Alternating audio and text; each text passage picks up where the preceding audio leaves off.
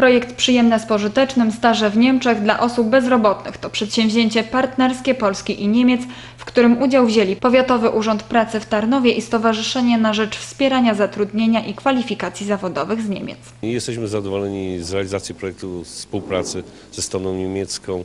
Yy, Ubolewamy, że to tylko tyle osób w nim uczestniczyło, ale będziemy namawiać uczestników, ponieważ były pewne bariery językowe, bariery mentalnościowe i dlatego będziemy chcieli namawiać, żeby w przyszłym roku yy, ten projekt nawet w szerszym zakresie realizować.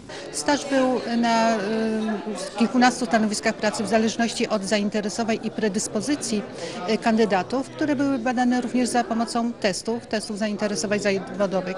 Doradcy zawodowi pomagali y, kandydatom w podjęciu tej decyzji, y, zapoznając dokładnie z warunkami, jakie będą na, w trakcie odbywania stażu, ale również pomagając w rozpoznaniu cech, jakie posiadają kandydaci pod kątem ich mobilności terytorialnej, pod kątem ich predyspozycji do tego, aby przez 9 tygodni przebywać poza miejscem zamieszkania. Staże są ważnym elementem przygotowania zawodowego, szczególnie dla e, absolwentów szkół zarówno zawodowych, jak i ogólnokształcących, czy, e, czy absolwentów e, studiów. Ludzie, którzy kończą formalną edukację, mają pewien problem w adaptacji e, w rynku e, na, na, na rynku pracy, a pracodawcy wymagają, e, trudno im się dziwić, e, doświadczenia.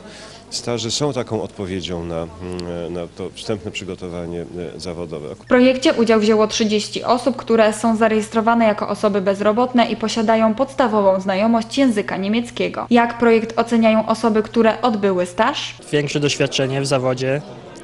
Y, Udoskonaliłem język, poszlifowałem dość dużo. No I ogólnie przydaje się, bo to jednak jest papier, że mogę następnemu pracodawcy pokazać jednak, że odbyłem ten staż w Niemczech.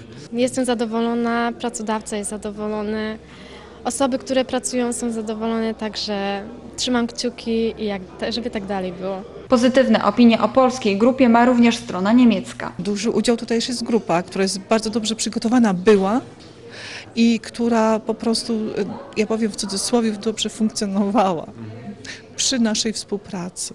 Podczas podsumowania projektu, które odbyło się w Tarnowie, partnerzy przedsięwzięcia podzielili się swoim doświadczeniem. Przystępując do projektu, tak naprawdę zdaliśmy te osoby, z którymi będziemy współpracować.